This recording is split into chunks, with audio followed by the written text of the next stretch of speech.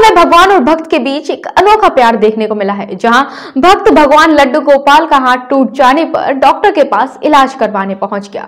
देखिए यह है भगवान और भक्त के बीच का अनोखा प्यार। भगत के बस में है भगवान। एक ऐसा ही अनोखा मामला आगरा के खेरिया मोड़ स्थित मंदिर से सामने आया है, जहाँ पर सुबह मंदिर के पुजारी मंदिर में पहुँचे तो उन्होंने देखा कि लड्डू गोपाल जी की मूर्ति सिंहासन से नीचे गिरी हुई है और लड्डू गोपाल जी का हाथ भी टूट गया। जिसे देखकर पंडित जी काफ़ी दुखी हुए और उनकी सूझबूझ ने काम करना बंद कर दिया। वहीं आनंद फानंद में उनको कुछ ना दिखा और लड्डू गोपाल जी की मूर्ति को उठाकर आगरा जिला अस्पताल पहुँच गए, जहाँ उन्होंने डॉक्टर से मूर्ति का इलाज करने के लिए कहा। तो डॉक्टर ने उन्हें पागल कह दिया और वहाँ से जाने के लिए बोल दिया। लेकिन उनकी इस भक्ति को देखकर एक सज्जन व्यक्ति ने उनकी मदद की और डॉक्टर साहब से कहकर मूर्ति का इलाज करवाया।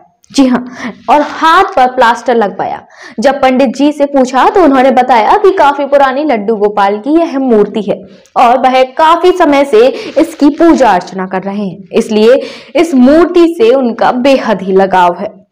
देखिए, खेरिया मोड़ पर एक मंदिर है, वहाँ पर बाबा है लेखराज जी। वो लड्डू गोपाल भगवान श्री कृष्ण की पूजा लगातार पिछले 20-25 सालों से करते हुए आ रहे हैं। आज सुबह जब पूजा कर रहे थे तो मूर्ति उनके हाथ से गिर गई और उसके हाथ फ्रैक्चर हो गया, टूट गया। तो यहाँ पर आए डॉक्टर्स के पास जिला अस्पताल में उन्होंने पर्चा भी बनवाया, बाकायदा पर्चा बना, लेकिन डॉक्टर द्वारा लगातार उनको टाल मटोल कर दिया गया, यहाँ से वहाँ वहाँ से वहाँ, कोई भी लड्डू गोपाल जी का इलाज करने में तैयार नहीं था, हमारे पास सूचना आई, सूचना के बाद हम लोग मौके पर पहुँचे तो डॉक्टर्स की माननीय मुझे लगता है, बिल्कुल ख़त्म सी हो गई हैं, उन्होंने उसको लड्डू गोपाल की मूर्ति को देखा भी नहीं, लेकिन हम लोगों ने सीएमएस साहब से अनुरोध किया, और सीएमएस साहब ने इतनी अच्छी तरीके से उसका ट्रीटमेंट किया, पलस्तर किया और उनको संतुष्ट करके यहाँ से भेजा। पुजारी भी पूरी तरह संतुष्ट है।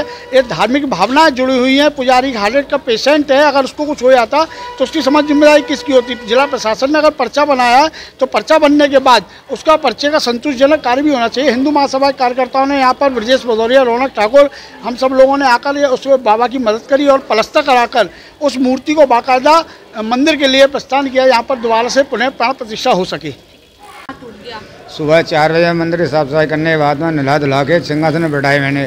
तो अचानक एकदम गिर गए थे। गिरने के बाद हाथ में हाथ अलग टूट गया। फिर वहाँ रोता पिल्लाता रहा मुँह फोड़ता रहा। फिर इसके पहले हाथ में बच्ची बच्ची बाँध के नहीं, बाँध दिया मैंने इनको। बांधने के बाद में फिर सुबह देखने इंतज़ार करता रहा। आठ बजे जब मैं यहाँ पर आया, आने के बाद पर्चा नहीं बना रहे थे तो घुमाते रहे मुझे। इधर जाओ उधर जाओ पर्चा बने फिर प्रेस वालों के कितने फ़ोन आए हैं पता नहीं किनके। फिर उन्होंने आने के बाद में मैं उन्होंने सात नंबर वहाँ भेज दिया। वहाँ हड्डी वाले डॉक्टर यहाँ उन्होंने कह दिया सात नंबर हो जाओ। सात नंबर ही मैंने कर दिया घर जाओ पागल है तो। फिर वहाँ से वहाँ मैं चला फिर एकदम घबरा गया मैं हार्ट पेशेंट तो हुई इसके बाद में फिर दोबारा गेट तक पहुँच गया। गेट में पहुँचने बाद एक सज्जन थे। प्रेस के पता नहीं कौन वो मेरे लिवा करके ले, वापस लेके आए। फिर हड्डी वाले डॉक्टर से बात की। हो गया पर्चा बन गया था। आगरा से दुष्यंत उपाध्याय की रिपोर्ट। मीठे रसगुल्ला के संगे चटपटा समोसा भी खाओ। पांडे जी मिष्ठान भंडार पे एक बार तो आओ। जो एक बार खाए, बाको बार बार मन ललचाए। बुंदेलखंड के पांडे जी को रसगुल्ला सबके मन को भाए। Pandey Mishthan Bhandar, Barua Sagar, bus stand. PK University. Build a great career at PK University. Admission open for medical science, B Pharma, M Pharma, BSc, BTech, MTech, and Polytechnic Diploma. Contact now www.pkuniversity.edu.in. Address Thandra Village, Jhansi Road, Shivpuri.